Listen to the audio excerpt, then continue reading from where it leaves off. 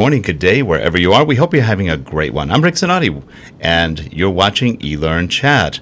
Um, joining me right next to me is Dawn Mahoney. Hey, Dawn, how are you again? Good morning again. Glad everybody's here. We have a full chat room today. We do. And for all of those who are watching live or who are watching the recording later on, uh, we've had some issues with Skype. So this is, I think, the fourth time we've started the show, and this time should be the charm. I think we're, we're doing well right now.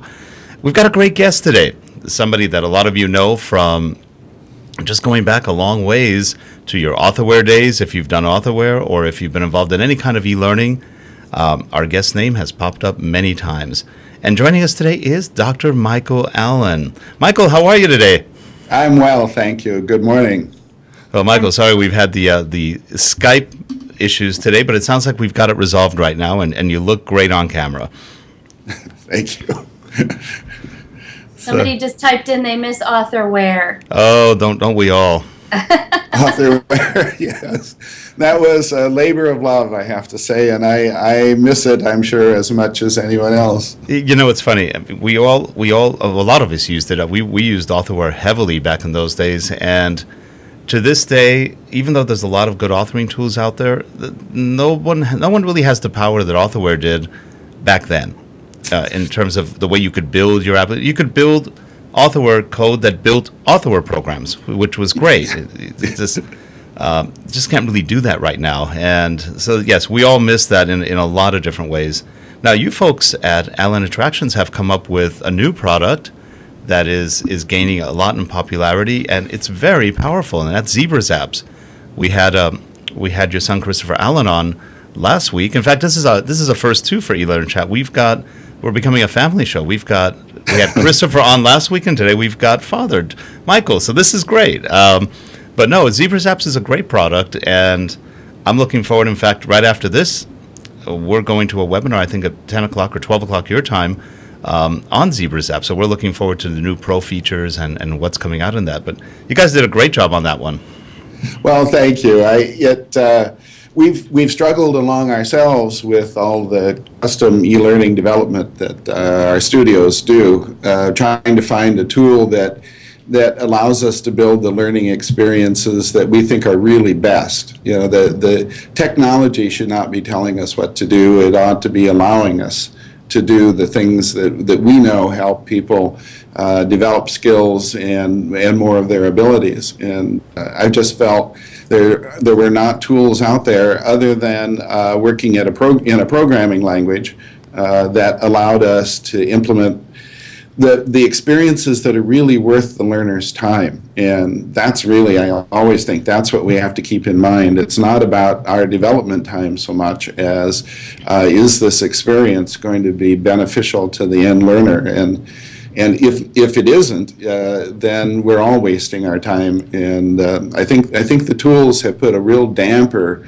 on the quality of learning experiences that uh, we're all putting out. So uh, Zebra is uh, every, bit, every bit as much uh, labor of love as authorware was. And uh, if we had had the capabilities in the authorware that we have in Zebra, it's hard to imagine what level of learning experiences we'd be putting out today. That's true, because that was quite a few years ago. And, and yet, even for its day, authorware is still pretty advanced.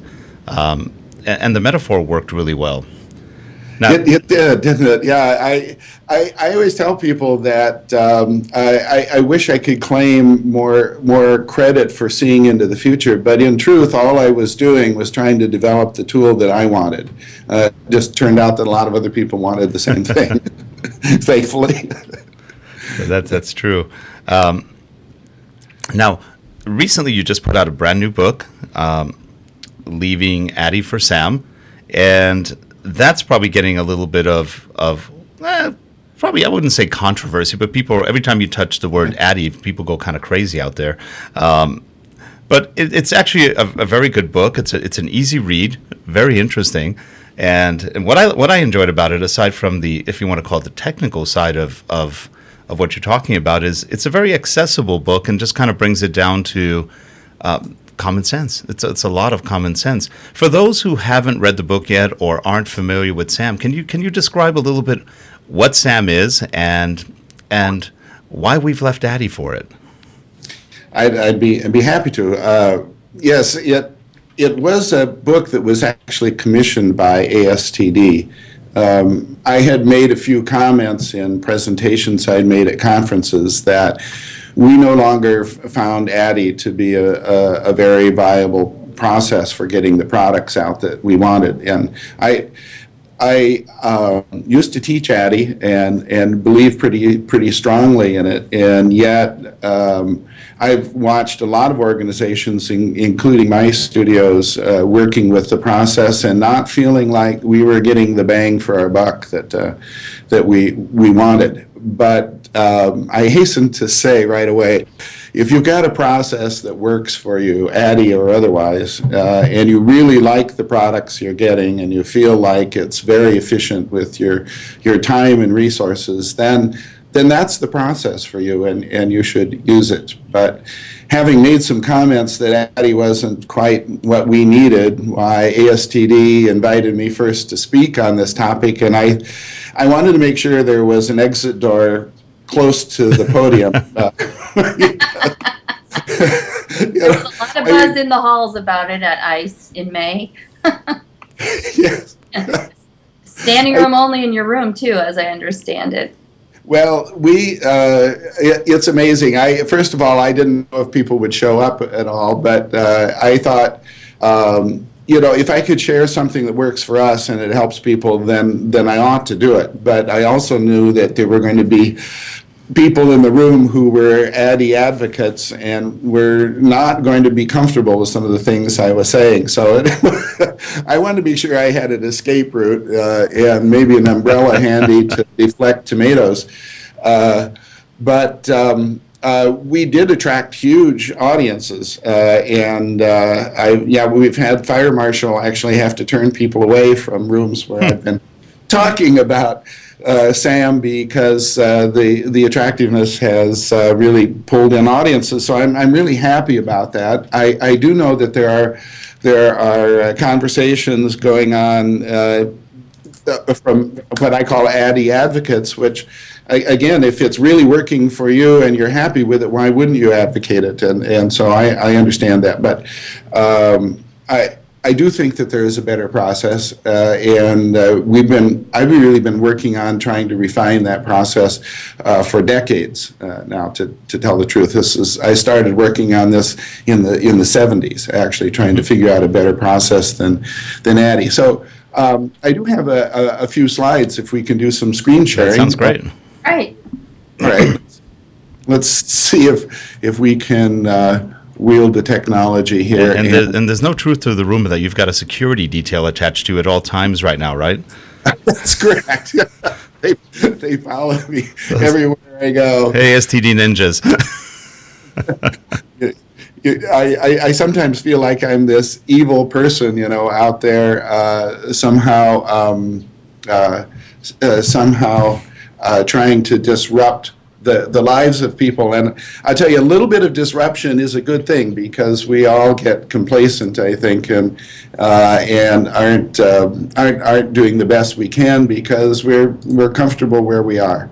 Uh, but uh, in, in truth, I think uh, we should all be looking at continuous change and continuous improvement. Uh, so. And there we go. So now I'm seeing your screen. You see some screen. Okay, yep, first. We all are seeing your screen right now with where it says Sam, and we can see the cover. Excellent, excellent. Before uh, that, I wrote, picture of Chris. it was a picture of Chris. Uh, He's helping out, yes. uh, I wrote this book with Richard Sites, and uh, I thought that was important because uh, Richard heads our operations in Florida and is building uh, many, many uh, learning programs, both instructor-led and e-learning, um, all the time. You know, working with teams that are doing this, and he uses the SAM process, which is short for a successive approximation model, which I'll describe in some detail here in, in a bit. Uh, and uh, uh, and he can verify that this isn't just theory, but the, that the things that we're sharing really work for him and work for his people and work for, for our clients. So it's it's not just a, this might be a good idea, but it's it's something that works in the field. And I was uh, really feeling privileged to have his experience behind the book and allowed us to put uh, anecdotes in there that I hope people will find useful, uh, if not just amusing. um, so I, in picking a in picking a process, it it seems to me that uh, it's it the process you want is the one that produces the product that you want. Uh, they need to be they need to go hand in hand. Excuse me. And it seems like you first should be describing what product you really want and then select what you think is going to be the most effective uh, and efficient process for it. Um, so we're we try to keep our eye on success, you know, and uh, the success of our learners, the people whose performance we're trying to help improve. And um, I, I always define success in the simple way uh, success comes from doing the right thing at the right time. Um, you know, if you're on a diet, you know, your success comes from eating the right things at the right time, not eating the wrong things at the uh, at other times, and so on. Uh, and and it's true no matter what. If it's managing an organization, launching a product, giving customer service, uh, no matter what, I think all successes come from doing the right thing at the right time. Um, and I, want to point out that it it we're not saying knowing what you ought to do that's not success. It's actually doing the right thing at the right time. So knowing is not enough. It's it's all about performance, and that's true in school too. I don't see a difference in the academic uh, world uh, versus training. So um, there are various ways to go about trying to achieve success.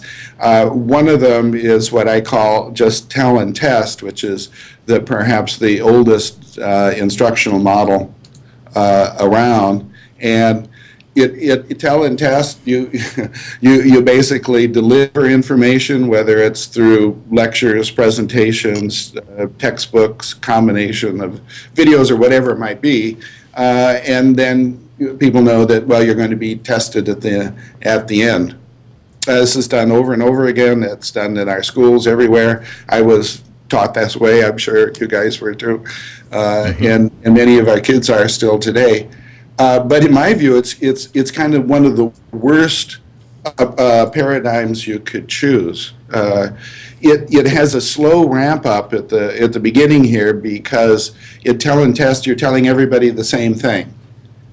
Well, not everybody is is going to respond well to that. Some are going to be bored because they already knew this. Others are not going to understand it because it's too deep, it's going too fast, so forth. So it's not individualized. Um, but you know, eventually you, you, hope to break through to at least most people, and and then we experience this uh, uh, post-test extinction. That is, how many of us would want to take a test we just took uh, a week later, or or even two days later? because we forget, right? You know, and we learn how to use our minds efficiently, so we learn how to prepare ourselves for a test. If that's the objective, uh, you, you, you, you do this efficiently, and it's also efficient to forget it the, the next day. so we do. Right. And this is this is not success. You know, it's it's far from it. No, and I read somewhere years ago that people forget about eighty percent of what they learn in school, if not even a little bit more. That's right. That's why the success of the TV show, you know. So, uh, are you smarter than a fifth grader? You know, all that stuff. Um, and and and we know that you're going to forget that stuff. So, yeah, from my point of view, that's not the product I'm going after. So, I don't want a process that's geared to doing that. Um, and to tell you the truth, there are there are a lot of attributes of ADDIE that I think are geared toward doing that. But then people will immediately say, my opposing advocates will immediately say, well, no, no, no, you could build any kind of instructional product using the ADDIE process. And I say, yes, it's true. Uh, but if you look at the products that most people produce from ADDIE, it fits it fits too uncomfortably close to this to this model. So if not that, I guess then what, right? Um, if if we build things that are really interactive, and I mean interactive by being sensitive to you as a learner, so that uh, if you if if you cannot rise to a challenge that's put in front of you early on, and I'm one of those people that says on the first screen on the first page is your first challenge. You know, see if you can do this.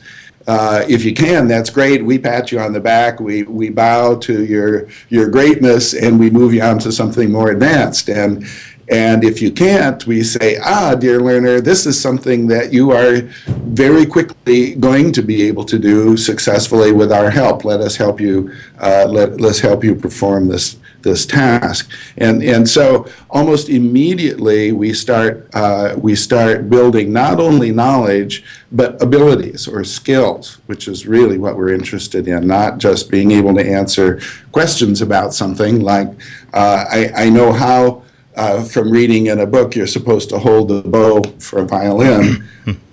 but you never picked one up, you know. so. Now you know that's a that's a great point. One one thing I've noticed, and we've been trying to do this for I don't know 17, 20 years, and that's to exactly do what you said, which is throw out a question they may not know, but to see what they know.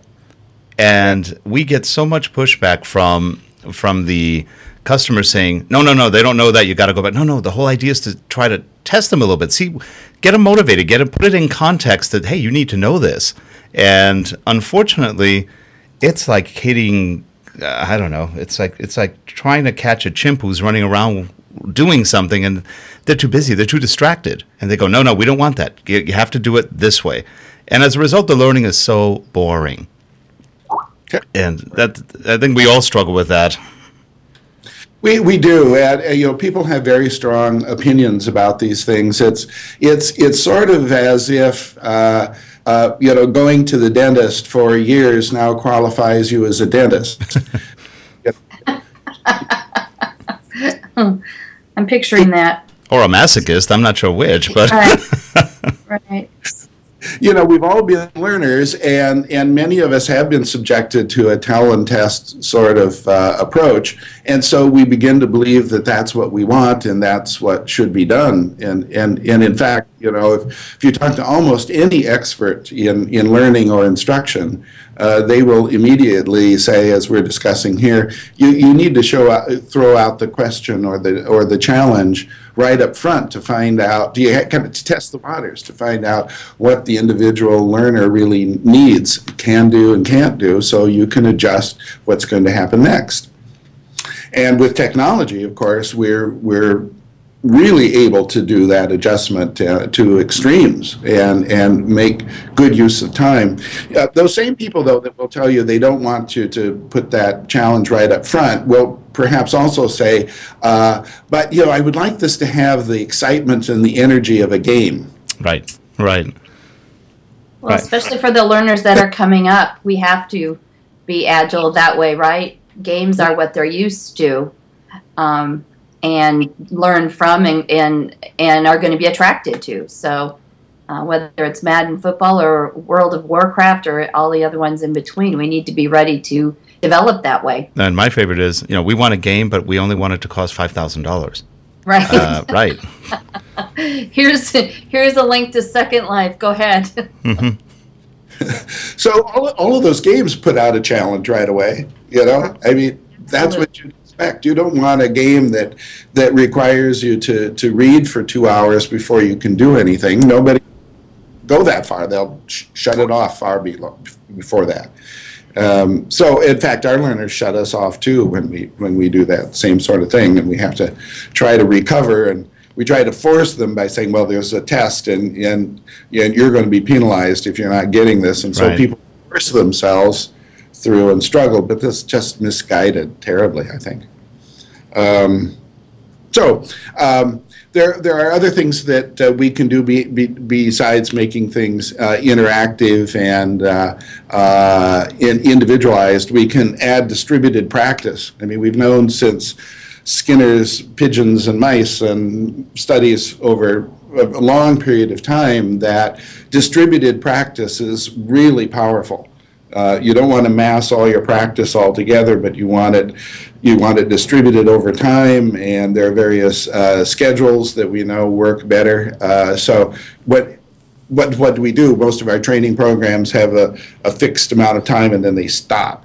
Mm-hmm. But just like the worst thing you could possibly do. You know, you should do a small part of it, get people practicing, uh, working on the job, and then incrementally give them more practice and, and more skills and put it out over time. And the payback is many, many times uh, what you'd get otherwise.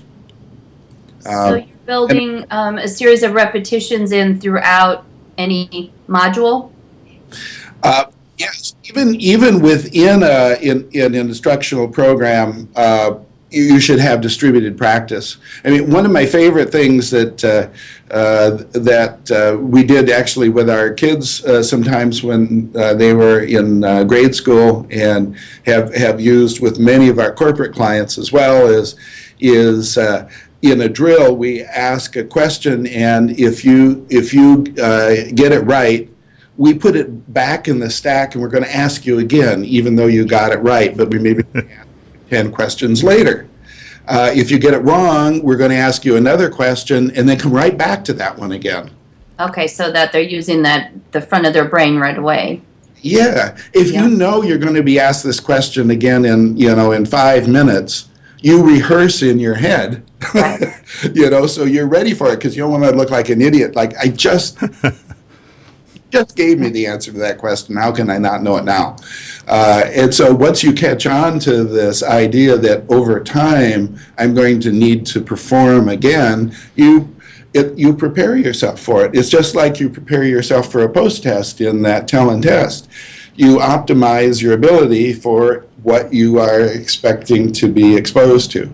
And uh, if it's just a post test, then you prepare yourself in a way that is going to allow you to forget all that you knew very in a very short amount of time. If you know that you're going to be tested in a way using test kind of in a generic way, being challenged again uh, over a period of time, then you prepare yourself to remember uh, and to keep that. And you know, we just know these fundamental things. They're not, I think, in any way controversial.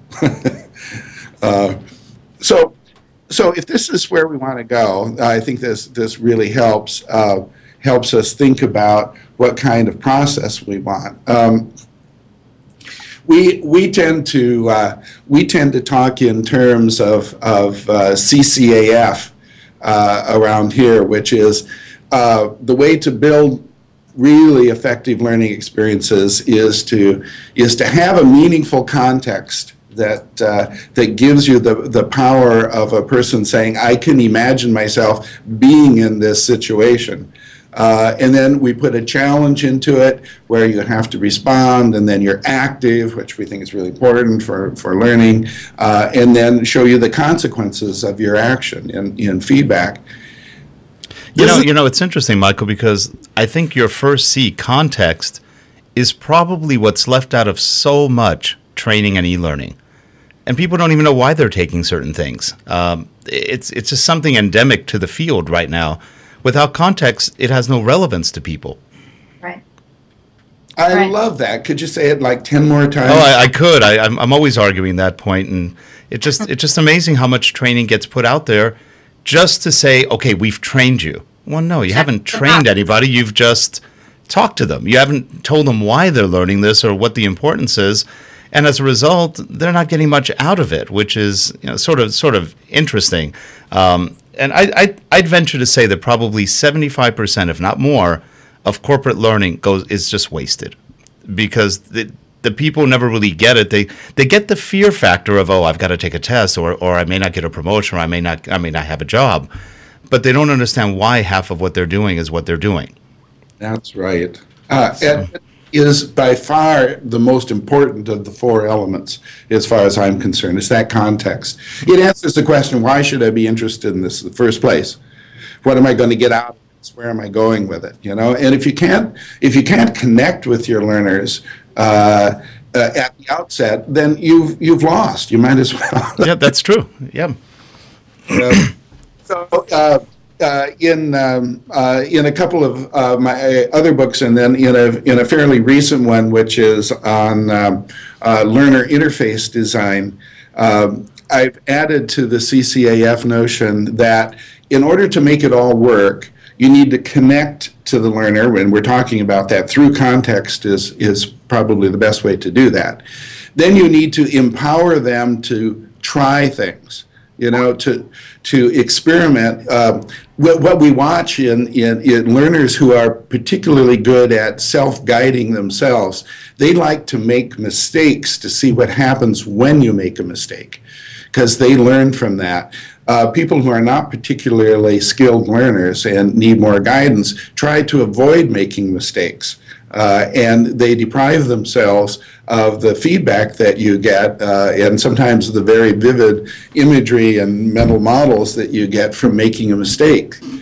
So we like to empower people to actually try things in different ways to see what really works, what doesn't really work, and maybe the things in between to get a get a fuller understanding. And so that's empowerment but to make all of that happen then is uh, you need some technology or you need various uh, role-playing uh, setups or materials and that's what we call orchestrate. You then now need to take this and make a learning experience out of it. Um, so if that's where we're trying to go at least I, I, only share this because that's where we're trying to go and we advocate that. I hope that's where others are trying to go too. Uh, if you look back at ADDIE this is perhaps the, the classical model of ADDIE, uh, and you see along the top the analysis, development, um, uh, uh, I'm sorry, design, development, implementation, and evaluation, ADIE. Um, there isn't anything here that is not a good idea uh, in terms of something to do. I think all of these things are important.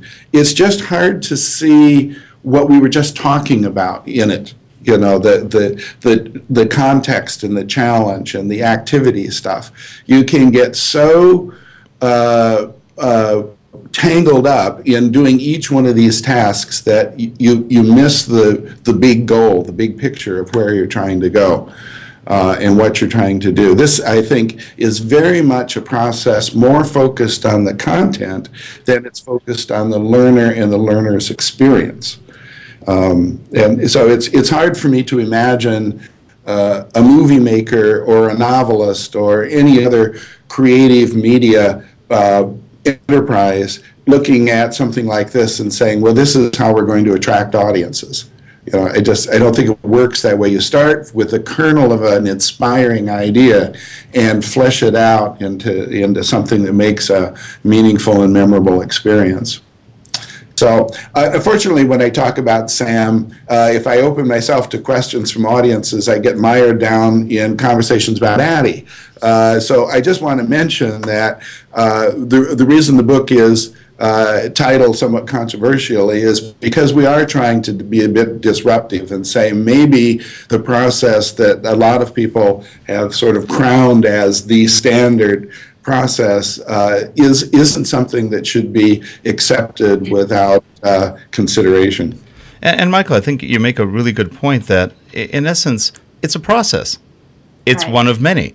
It is, and the process gives you at least a foundation, but beyond that, you have to adapt any process to your situation. And and that's where I think your book makes a good point that process is one thing, but the process has to make sense and it has to evolve and, yeah. and be flexible has to be flexible and overall it just has to produce the right product you know the one that you really really want. It, it isn't a matter of checking off excuse me all of the all of the steps and requirements in a process and say i've done a good job because of that uh, when in fact the product that you put out is not producing improved performance learners are bored you know whatever the failings might be. You can't maintain that it was a great product uh, just because you followed a process. It goes the other way around. Can the process be considered a good one? Uh, uh, and the answer is, well, let's look at the product first. Was that good? And if, uh, if it were, then the question is, were you efficient with your resources? So Sam uh, uh, is is at heart a really simple idea by comparison, a really simple idea, uh, and and that's uh, you are going to iterate evaluation, design, and development, uh, and you do that until you get either you run out of time which is a very real consideration, but it's okay. I'll come back to that. And or you get the product that you want.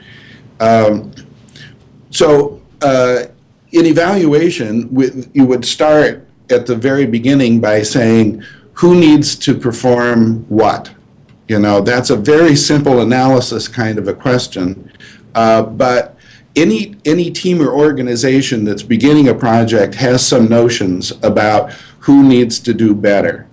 Now, often the immediate connection is made that those people who need to do better are the ones to be trained, because it just makes sense.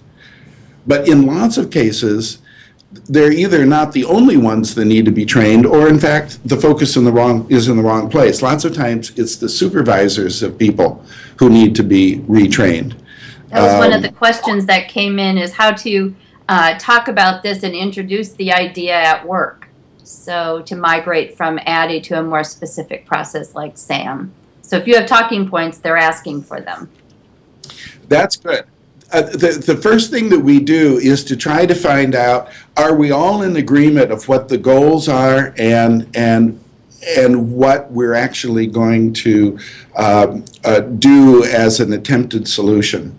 Uh, and it's not good to go off into a, a, a, quiet room and come up with the answer and then show it to everybody. Because lots of times people will, will uh, agree with something just because a lot of work went into it. Um, and uh, I really like uh, uh, Allison Rossett's book uh, that she wrote some, some years ago, which is First Things Fast uh, in which she picks up just this whole notion of, of analysis and getting started, saying that it's so easy to get into analysis paralysis mm-hmm. that come up with the wrong answer. Uh, so we've we've taken her lessons and said, let's get the stakeholders together in a room and let's find out what they think as a group needs to be done. And they could be entirely wrong, but at least we've got the attention and involvement of key people, and that's really important. Um, in fact, if, if, if you look at the, uh, I'm going to back up a minute. If you look at ADDIE, you don't see anything in here about finding out who are the key stakeholders. Uh, who might veto something halfway through because it isn't what they expected? uh, we, we run into those very real things all the time. Uh, like uh, someone will fund a project and then delegate getting it done uh, to someone else, and they'll be working through it, and e- even sometimes as close as almost ready to deliver. The, the person in real authority and control will then say, you know, that thing is all video, right? Uh, I, I, think we call those our nightmare customers.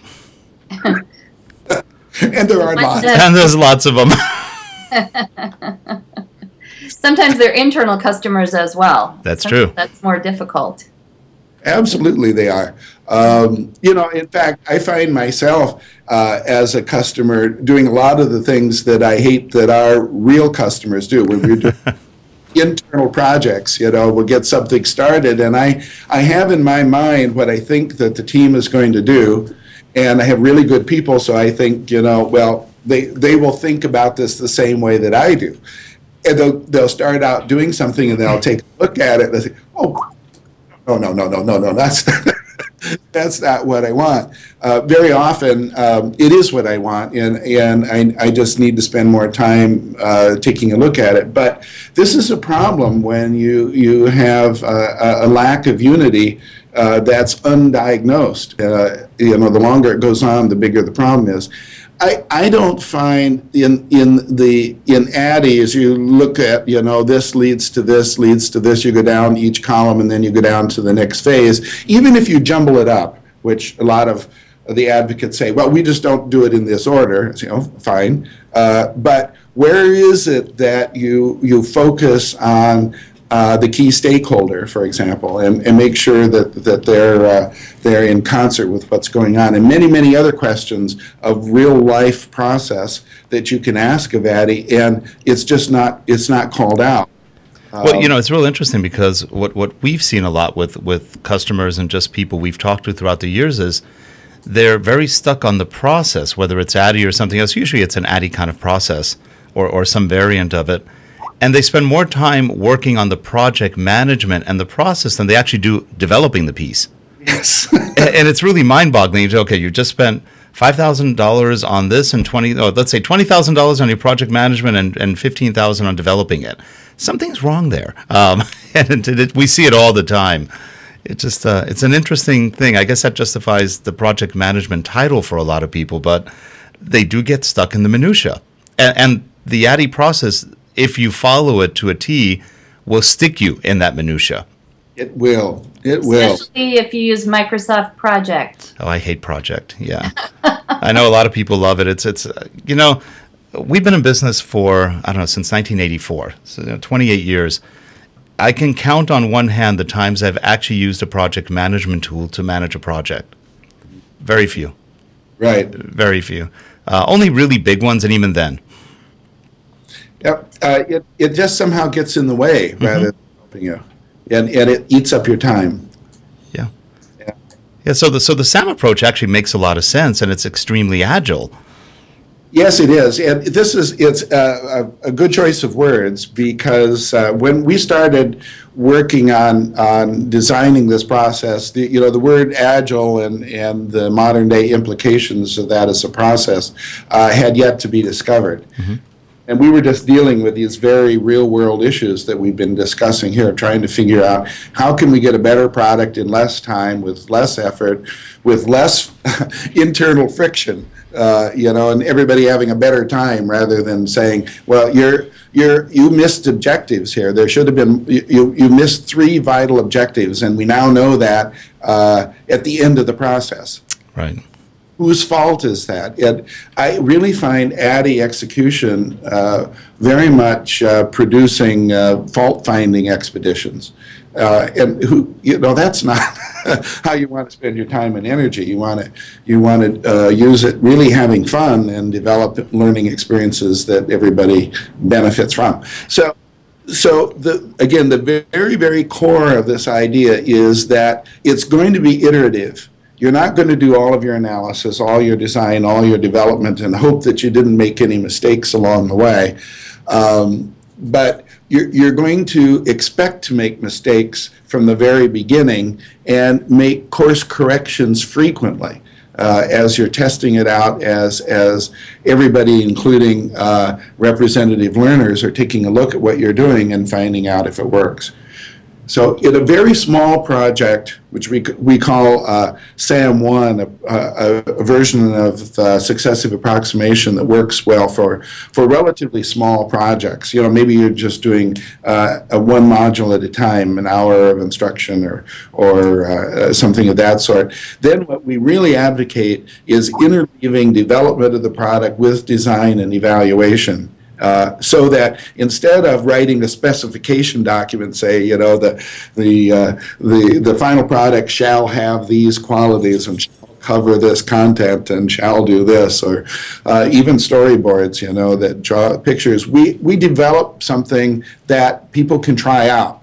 That that that stakeholder that was going to keep quiet is now seeing something very early on. And if they if they wanted it more game like less game like more presentation more video more text more role playing whatever it is they'll start to see the the first ideas early enough that they can make those comments and we can either convince that person that that's kind of the wrong direction or we can take that to heart and uh, and let it bias us and and do a rede- redesign and a redevelopment of it um, and get it right I like that um, the stakeholders are more, that evaluation is built in from the beginning. It's more visible this way, and the stakeholders own a piece of the evaluation and reevaluation, where often that gets left to either not happen at all or that happens somewhere else. So I like that it's center.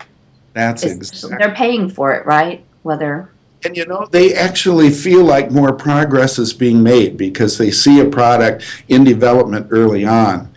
Um, and it takes a lot of the anxiety out because if you leave all the development until later in the process, everybody starts to worry about can that actually be developed on time? Have we have we reached too far? It's, it's we're asking for something far too elegant for our time and our abilities, uh, or or should we be doing more? Well, we don't know when you do a linear thing, but when, when you work it uh, when you work it through this iterative process, uh, you really see it developing and becomes tangible early on. Just one more picture for you. Um, the, the SAM2 process uh, is, is for larger, more formalized kinds of situations. Uh, it, it could be that you're going to outsource development uh, or you have uh, some specialized teams that are, are going to do the, the media work and uh, the programming and so forth. I tend to, I tend to think of this by in terms of e-learning. Uh, but uh, as I said at the beginning, we, we use this process for all modes of, of instructional delivery regardless. But if, if you need to break it up a bit, then we break it up into these three phases of, of uh, preparation where you, you, you gather whatever information you can find that's relatively easy to find, and then you do what we call a savvy start, which is basically a SAM1. Uh, you, you, take a, you take a stab at it, you put it on the table, say, what if we do this? You produce something of a prototype uh, or a piece of work that you intend to throw out, but it helps everybody get coordinated and, and on, the, on the same path. Uh, and, and often you find out that this is the best analysis you possibly could have done uh, because hidden hidden uh, informa- pieces of information just spill out when you do this and, and effortlessly, uh, and and opinions and and so on that that could have been hidden until later in the game are flushed out right away. You know, Michael, that's that's a really good point. Uh, many times, what we've done is we'll throw out something that I know isn't what they want, and and our people are going, but that's not what they want. I go, no, throw it out anyway. Yeah. And then when they see it, you get all the comments. Now you know exactly what they want. It, it, it just works really well. It does. It's simple. it's simple. Simple's good.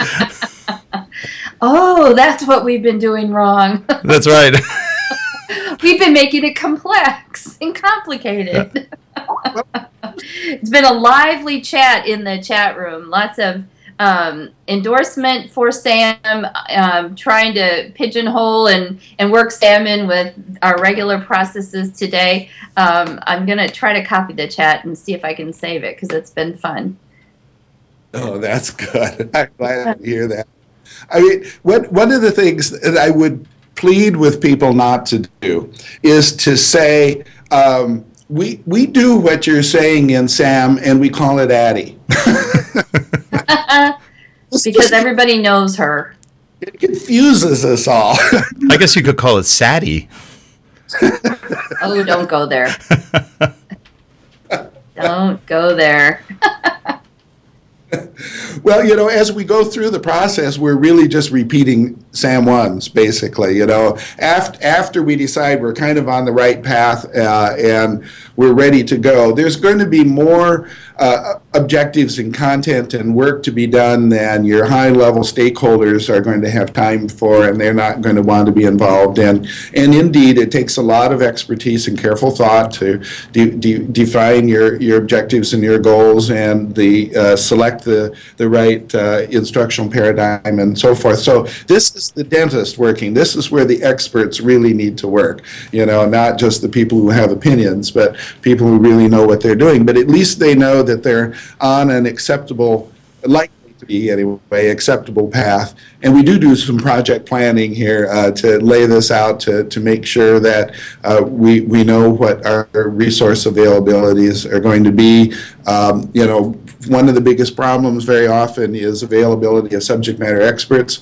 Uh, you know, the, the, the more expert they are, the more in demand they, these people tend to be. And uh, so it, it, it can be difficult from a scheduling point of view, and we need to think about that and to make sure that we've made arrangements that are going to work. Uh, uh, and, and then the, the development phase. Now, here's where Agile is becoming an industry standard, whether it's you know, developing um, uh, learning experiences or building a new uh, social network or accounting software or actually designing a, a new office building. Uh, the very concepts of, uh, of agile apply here, which is you work in small steps, what we call sprints, most people do, uh, and you, you keep it short, you keep it simple, and you take a piece of work to completion so that people can evaluate it. Take a, take a look at it and make sure that you're on the right path. You don't want a long span of implementation before people can evaluate it because then your risk just mounts on you about if you've made a mistake if you've off you know even you know seven degrees that could be costly and so we want to do small pieces of work have people uh, take a look at it uh, and um, uh, and eventually roll out a product for just as an overview there's a lot more detail of course that's why Richard and I wrote a book but but that's that's really basically the whole concept. That's great, and and the book is really good reading. There's a lot of good stories in the book and and examples of real world development, which is I think where it really comes down to. Any process is meaningless unless you can actually apply it and do something good with it. And I think you show some really examples in the book of that, and uh, that that alone makes the book well worthwhile. Oh, music to my ears. Yeah, and I'm not done reading the book. I'm about probably two thirds with it, um, but I've, I've really enjoyed it. I ordered it. I haven't gotten it yet, so. I kindled it. That's what I'll do. I, I, yeah, I ordered the paper though. I want to get it signed. That's possible. I'll see you in Dallas, if not before. Well, Michael, you're going to be at uh, DevLearn in a couple weeks, correct? I am indeed. Yes and, and standing near the door, but speaking on the. That should be fun. So, anybody who's going to DevLearn, please drop by the Allen Interactions booth or go to some of the sessions that are being uh, given. I think you'll get some some good information out of it, and you'll you'll definitely have a good time. So, a lot of exciting things happening there between ZebraZapps and the new book and all that. That's some that's some good stuff.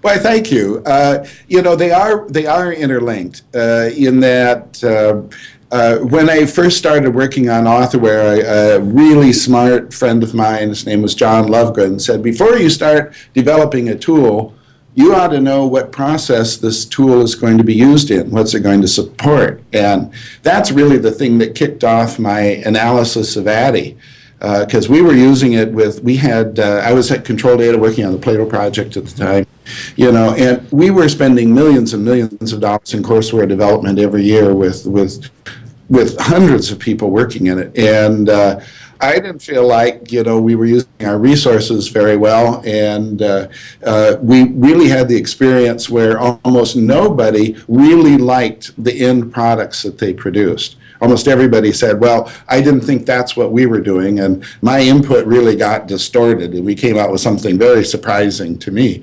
And that this, this is not good, you know. And so I spent a fair amount of time talking with people who were working in the ADDIE process, telling me how unhappy they were. Uh, and it was always somebody else's fault. And I thought, well, that can't, that can't be. Well, that's built into ADDIE. It's built into ADDIE, right? Yeah. Accountability, yeah process itself. And so that's when we started trying to figure out how to do better. And the idea of r- rapid prototyping really came out quickly that people need to see what you're talking about, not just hear your words, read a specification document, but they really need to see and feel as early as possible what somebody is proposing so they can make. It, it's true. It's true. You know, my, my background came from the IT field. I actually spent 25 years in IT from from programmer, program analyst, systems analyst, all the way to VP of IT in, in several companies. And I ADDIE applies to IT as well as anything else. And I found it when I was managing projects a complete waste of time to spend all that time managing the project. And rapid prototyping, I when 4GLs, what they call fourth generation languages, came out back this is probably back in the 70s and 80s. I was one of the first on it. it. It's all of a sudden you could prototype very quickly, rapid prototyping on everything you did. Applications could be built in a quarter of the time it took to do the whole process, and they were just as effective. And the same thing holds true for e-learning right now. It's again, if you can find tools that make that prototyping process easy, quick, all of a sudden your life's a lot easier, and the customers enjoy it more. True. I mean, yeah, it should be fun. If if you're not enjoying the process, the the, the pain and anguish you're going through is likely to uh, appear in the final product as well. it's it's probably going to be boring, and it's probably not going to be learner centric, and so on. Uh, so uh, that's why Zebra again, uh, because we feel like we need a, a product that that really uh, uh, allows you to harness interactive media so quickly that you can put prototypes together even while people are discussing what they want to do.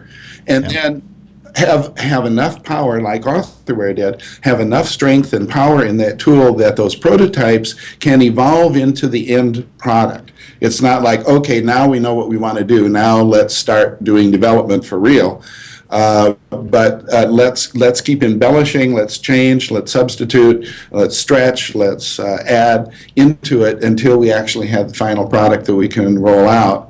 Uh, and let's not require a lot of programming expertise, by the way and uh, so that's that was the the charm and the dream of uh, of, of ZebraZapps, and and man, it's uh, it's real. yeah, it's and it's and it's really cool, especially coming from a programming background. I love the wiring.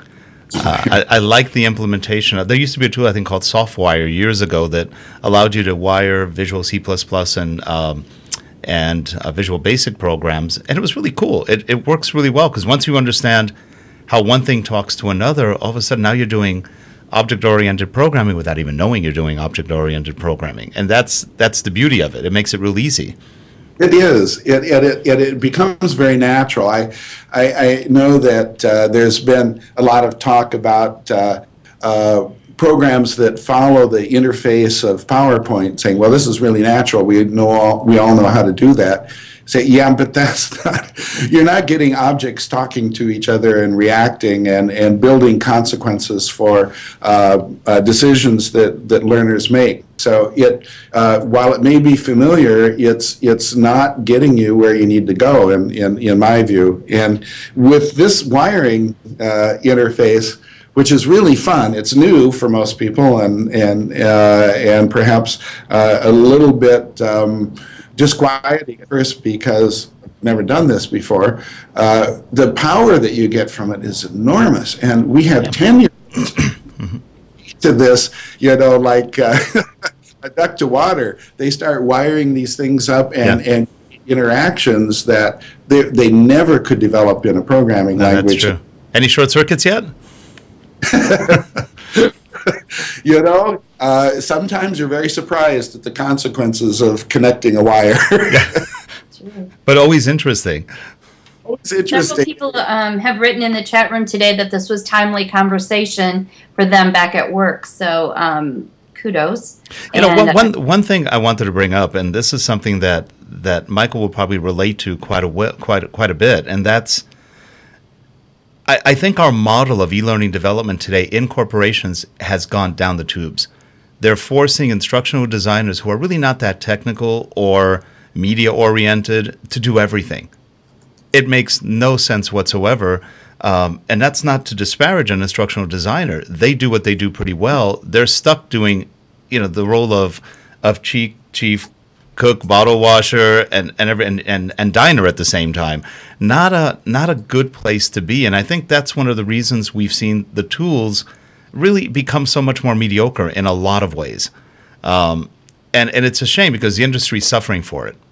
I mean, back in the authorware days, you had instructional designers who wrote really good courseware. You had the authors who could put it all together. You had the graphic artists.